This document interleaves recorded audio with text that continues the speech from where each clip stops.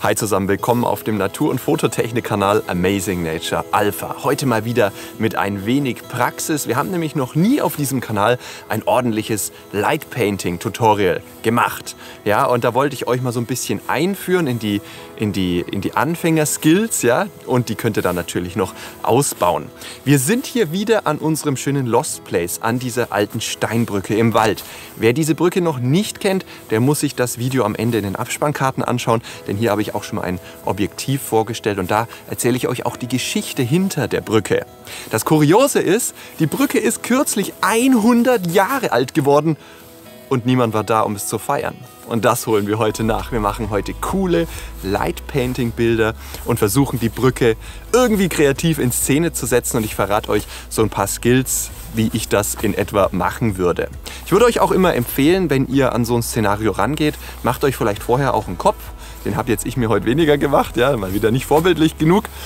Ähm, aber äh, es, es macht schon Sinn, sich mal so Skizzen zu machen und zu sagen, welche Figuren will ich denn überhaupt malen? Ja, wie das jetzt geht, das äh, gehen wir jetzt noch kurz durch.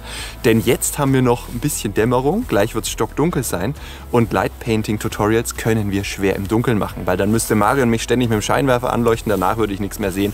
Das bringt nichts. Also müssen wir das jetzt so durchsprechen und später bespreche ich mit euch zusammen noch die Bilder, denn da kann ich euch dann erzählen, wie welcher Effekt mit welchen Taschenlampen Tool funktioniert hat. Ja. Das ist so der Hintergrund. Wichtig ist eben, macht euch ein paar Skizzen, nicht wild drauf losmalen, weil dann überlagert ihr manche Effekte und ähm, ja, ein bisschen über Light Painting Ethik müssen wir jetzt noch reden. Es gibt nämlich so ein ungeschriebenes Gesetz. Ja, Künstler kann man ja eigentlich keine Gesetze machen, aber es gibt ein ungeschriebenes Gesetz, das besagt, Light Painting Fotos sollten immer mit einer Belichtung entstanden sein.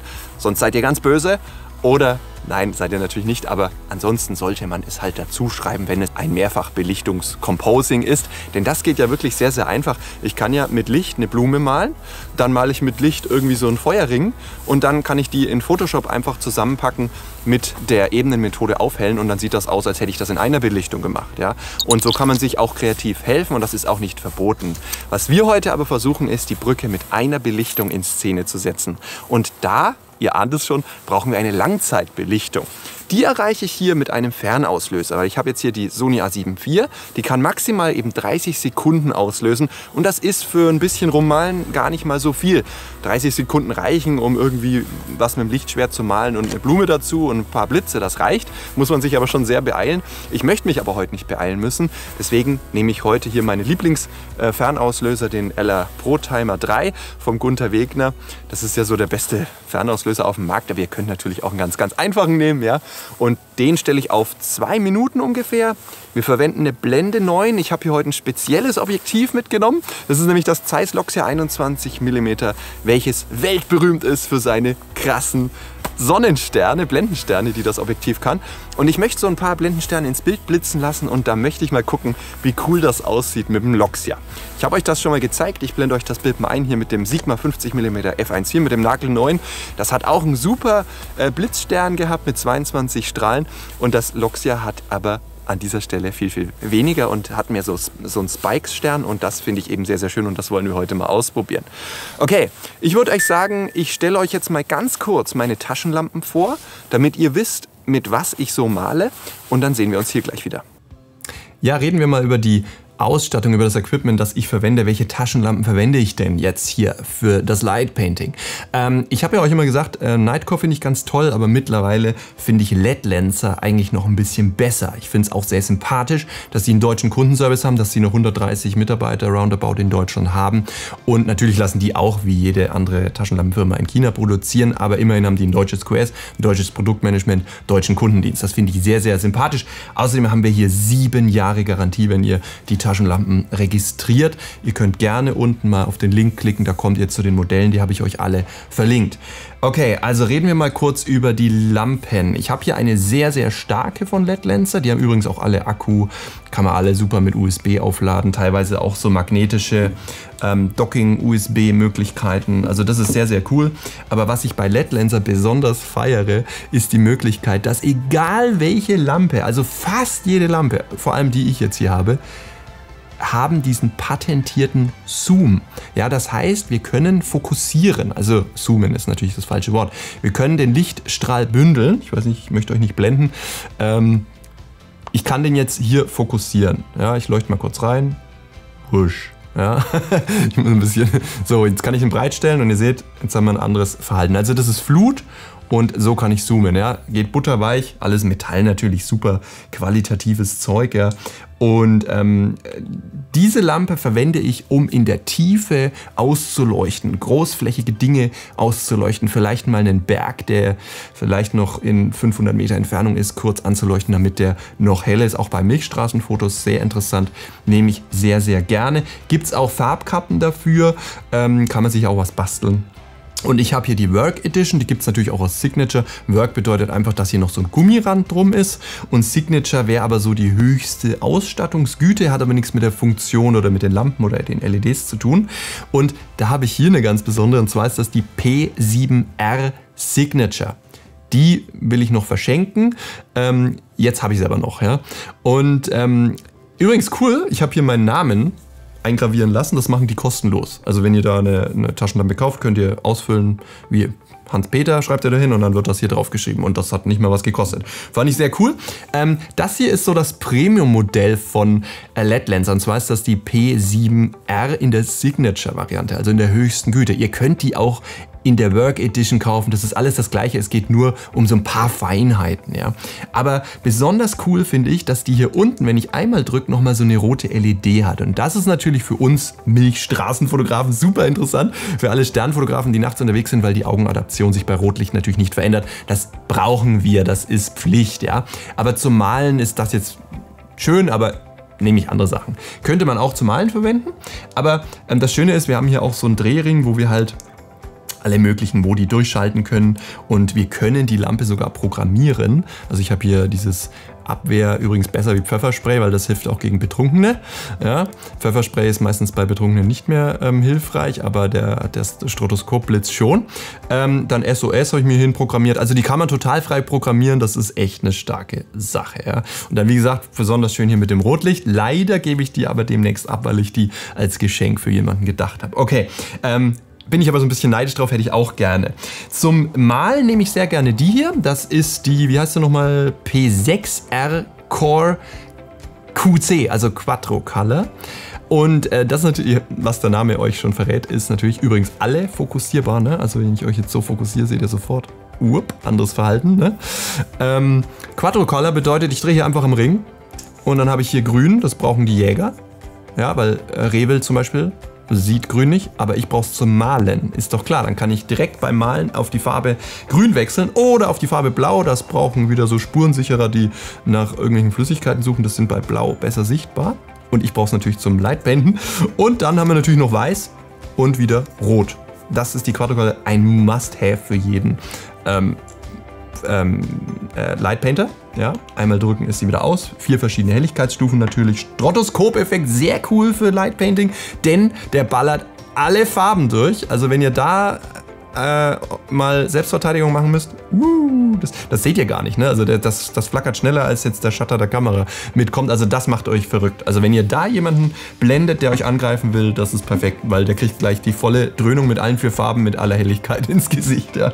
Dann sehr wichtig, einen äh, Pen, also einen eine ganz kleine Taschenlampe, P4R Core heißt die. Wie gesagt, verlinke ich euch unten alle. Auch fokussierbar, total stark. Und ich kann die nur so halb andrücken ja, die wird auch jedes Mal heller. Oder ich drücke sie ganz durch, dann rastet sie auch ein und bleibt an.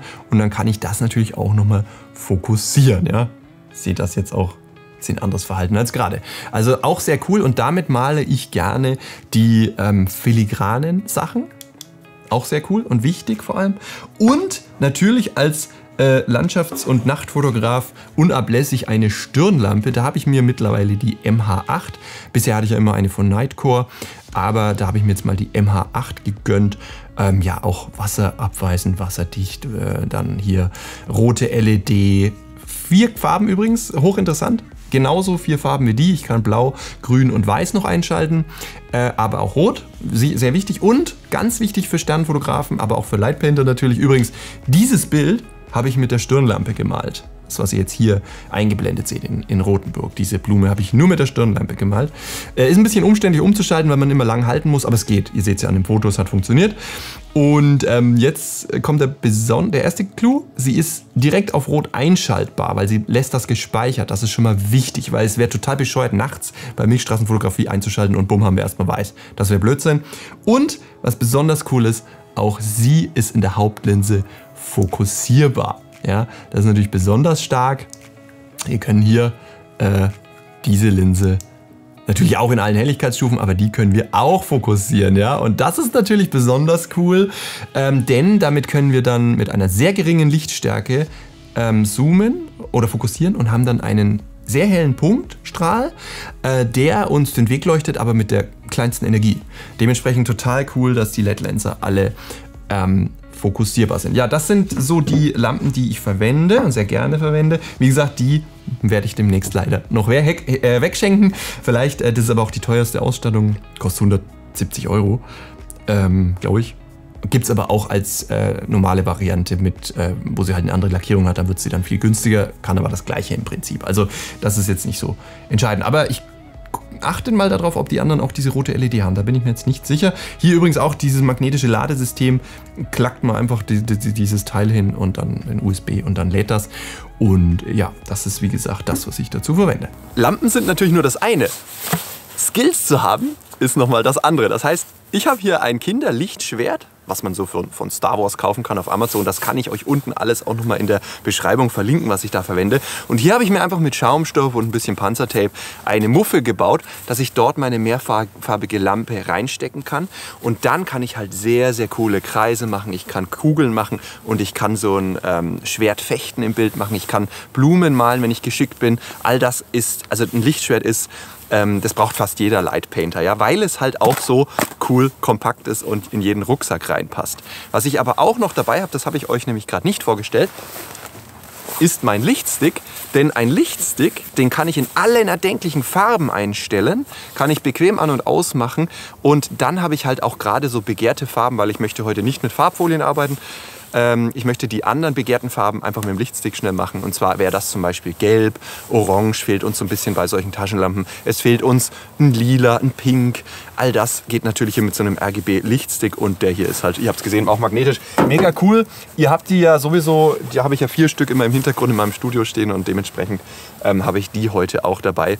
Und wir schauen mal, was wir damit malen. Ausrüstungstechnisch habe ich wie gesagt die A74 Zeiss Loxe 21 Fernauslöser und mein Olanzi Stativ. Stativ ist jetzt völlig egal, es sollte halbwegs stabil sein. Wind haben wir sowieso keinen, also könnt ihr auch ein federleichtes Stativ nehmen, das ist dann eben nicht so wichtig.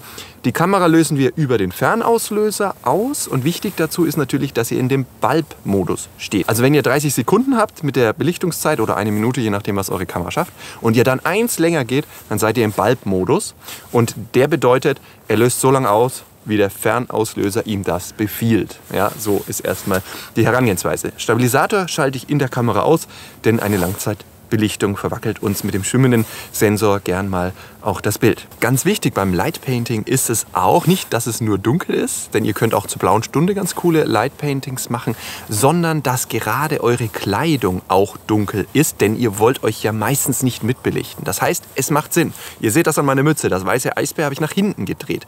Denn wenn ich ähm, mit Licht rumfuchtel, dann kann es halt sein, dass das weiße Eisbär dann weiß leuchtet und dann habt ihr hier so eben Unreinheiten, sage ich mal, im Bild. Ebenso das Gesicht ist ja sehr, sehr hell. Dazu verwende ich dann hier einfach so einen Schlauchschal, den ich mir hochziehe.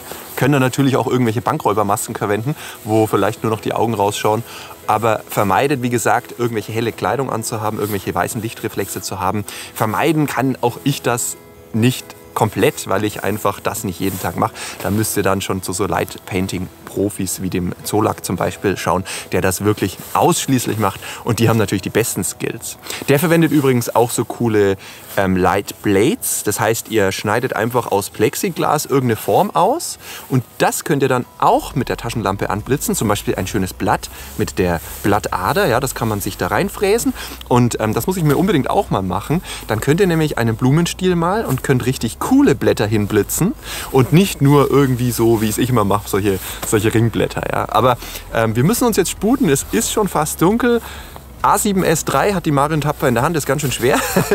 ähm, und die kann ja mit der ISO sehr weit hoch, deswegen seht ihr mich noch taghell, aber es ist hier schon ziemlich dunkel und wir machen uns jetzt mal auf unten und wir sehen uns jetzt dann am Rechner. Sollte ich noch irgendwas vergessen haben, was wichtig ist, erkläre ich es euch jetzt bei der Bildbetrachtung. Auf geht's! Ja, das hier ist die erste Komposition, die wir im Wald gemacht haben. Wir haben hier eine Belichtungszeit von 121 Sekunden, also knapp zwei Minuten und man sieht, dass diese Dämmerung hier den Himmel noch schön hell macht. Das ist eigentlich soweit kein Schaden und sehr schön. Ich hatte das Bild so mir vorher zurecht geplant, dass ich gesagt habe, okay, ich möchte hier mit Komplementärfarben arbeiten. Ich möchte den Bach mit der blauen Taschenlampe äh, blau ausmalen und den Hintergrund in den Bäumen.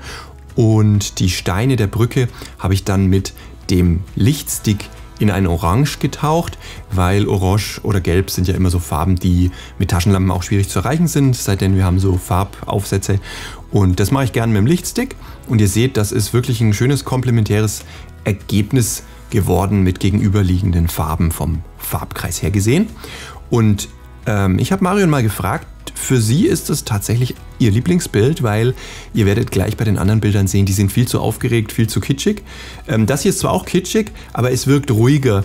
Ähm, die Sterne habe ich dann mit der kleinen ähm, Stiftlampe geblitzt, also jeweils kurz in, die, in, die, äh, in das Objektiv blitzen. Dann erreicht ihr hier solche Sternchen. Also das ist eins der schöneren Ergebnisse, weil es eine gewisse Ruhe hat und nicht zu so viel in der Mitte gemalt wurde. Wichtig dabei ist, dass wenn ihr euch bewegt, dass ihr zum Beispiel mit dem Lichtstick den vor euch haltet und ihn mit der schwarzen Jacke abschirmt. Denn wenn ich den leicht zur Seite drehe, dann würde man sofort hier einen gelben Strich im Bild sehen. Und das darf eben nicht passieren.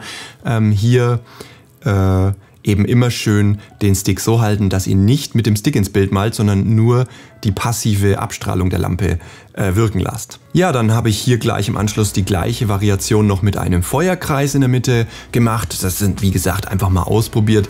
Übrigens, die Location war der Horror für Lichtmalerei. Also wenn ihr Licht malen wollt, geht auf jeden Fall erstmal auf die Straße, denn diese Location war der absolute Horror. Ihr müsst euch vorstellen, wenn ich mit der orangenen Lampe rumgeleuchtet habe, die muss ich ja dann wieder ausschalten, um meine Position zu verändern, um dann anschließend mit dem blauen Licht den Fluss auszumalen und den Hintergrund auszumalen.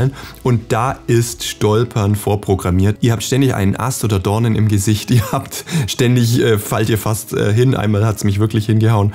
Und also das ist wirklich die Location, die absoluter blanker Horror ist, weil ich darf ja nicht die Lampe einschalten. Äh, auch keine rote Stirnleuchte, weil sonst hättet ihr jetzt hier eine rote Spur. Das darf absolut nicht sein und somit müsst ihr das so planen, dass ihr da, euch da blind bewegen könnt. Und ihr seht, ich habe jetzt hier so, eine, so ein äh, Partyfeuerwerk angezündet. Äh, Im Nachgang ist uns dann eingefallen, das ist, glaube ich, gar nicht erlaubt. Also bitte kein Feuerwerk im Wald. Es ist ja schon hier so ein bisschen Waldbereich. Ich habe das jetzt hier nicht so kritisch gesehen, weil alles von Frost bedeckt war und wir Wasser da auch hatten. Der Bach fließt ja da durch. Äh, und ich habe ja dieses Feuerwerk jetzt hier an der Stelle wenigstens nur unter der Brücke gemacht. Ihr seht dann später noch ein Bild, wo ich eine Spur den Vordergrund gemalt habe. Und danach ist uns eigentlich eingefallen, dass das wahrscheinlich sogar gar nicht erlaubt ist. Also bitte kein Feuerwerk im Wald machen. Das macht er dann lieber einfach auf der Straße. In dem Fall wieder einfach Lichtstick verwendet, orange die Brücke ausgemalt, der Feuerschweif hat dann innen den inneren Bogen ausgemalt, dann wieder ein bisschen ins Objektiv geblitzt, das hätten wir uns jetzt bei dem Bild vielleicht auch sparen können, da sind die Sterne auch nicht so schön geworden, weil ich ein bisschen nah rangegangen bin. Und ja, ansonsten äh, den Fluss wieder, also den Bach wieder blau nachgemalt. Und das ist das Bild schon gewesen. So, hier wieder ein, eine andere Komposition. Hier haben wir mit dem Lichtstick die Brücke in Pink bemalt, weil das auch eine Farbe ist, die man nicht so einfach erreicht. Äh, witzig zu sehen ist dann auch, ich habe dann mit dem Lichtschwert so einen ja, nicht schön gelungenen Kreis gemalt und habe dann mit dem Lichtschwert viermal in Rot geblitzt. Witzig zu sehen ist, links und rechts, also 3 Uhr und 9 Uhr habe ich perfekt gerade äh, hingekriegt beim Blitzen und oben und unten 12 Uhr, 6 Uhr ist dann überhaupt nichts geworden. Aber witzig zu sehen ist, dass sich hier das Licht mischt in dem Bogen, denn hier wird es lila, denn einmal male ich ja mit blau, dann mit rot und das Pink vom, vom Malen wirkt wahrscheinlich auch noch so ein bisschen hier rein, weil ich nicht sauber gemalt habe. Und dann haben wir hier keinen blauen Bogen, so wie es eigentlich geplant war, sondern eigentlich mehr einen lilafarbenen Bogen. Dann habe ich im Hintergrund mit der starken weißen Flutlichtlampe alles ausgemalt. Ich denke, im Nachgang hätte ich mir das sparen können, weil dann wäre der blaue Kreis und die Lichtblitze noch ein bisschen schöner geworden. Und ihr seht, die Dämmerung tritt langsam oben ein. Es wird ziemlich dunkel. Vorne habe ich noch mit der grünen Lampe gemalt, weil sonst wäre das alles in schwarz abgesoffen. Und ja, es ist ein ganz nettes Bild geworden, aber gehört jetzt nicht zu meinen Lieblingsbildern. Hier haben wir so ein bisschen eine Blume gemalt. Das ist auch nicht so gut geworden. Also zuerst mal natürlich mit dem Lichtstick alles in blau ausgemalt. Also ihr merkt auch, der Lichtstick leuchtet ganz anders als die Taschenlampe, die ist wesentlich intensiver. Der Lichtstick ist hier einfach flächiger, kann man schönere Flächen ausmalen. Und ähm, ihr seht, ich habe dann mit dem Lichtschwert eine, einen Blütenkopf versucht zu machen und mit der grünen Taschenlampe habe ich eine Blume dahin gekritzelt. Das Bild wäre viel, viel schöner geworden, wenn ich die Blume da hinten auf die erste Insel gemalt hätte. Da wäre die richtige Stelle dafür gewesen und an solchen Bildern lernt man halt dann auch immer so ein bisschen, wie man es das nächste Mal besser macht. Ja, das ist hier jetzt wieder mit dem Feuerschweif, von dem ich gesprochen habe. Ähm, wie gesagt, das ist dann wahrscheinlich nicht so gut gewesen. Das hätten wir uns sparen können hier im Wald. Wir haben die dann aber auch gut abgelöscht und wieder mit nach Hause genommen natürlich. Wir lassen ja da keinen Müll liegen. Und ähm, ja, hier habe ich mit dem roten Lichtschwert, also das Lichtschwert einfach auf rot geschalten, äh, ein bisschen durchgemalt und die Brücke wieder flächig mit dem Lichtstick ähm, beleuchtet. Schön an dem Bild ist, dass ich mir diesmal gespart habe, den Hintergrund auszumalen. Das wirkt jetzt besser, aber ähm, ihr seht, das ist nicht geplant genug. Es wirkt zu willkürlich und somit ist das auch nicht mein Lieblingsbild. Das Bild finde ich ein bisschen schöner.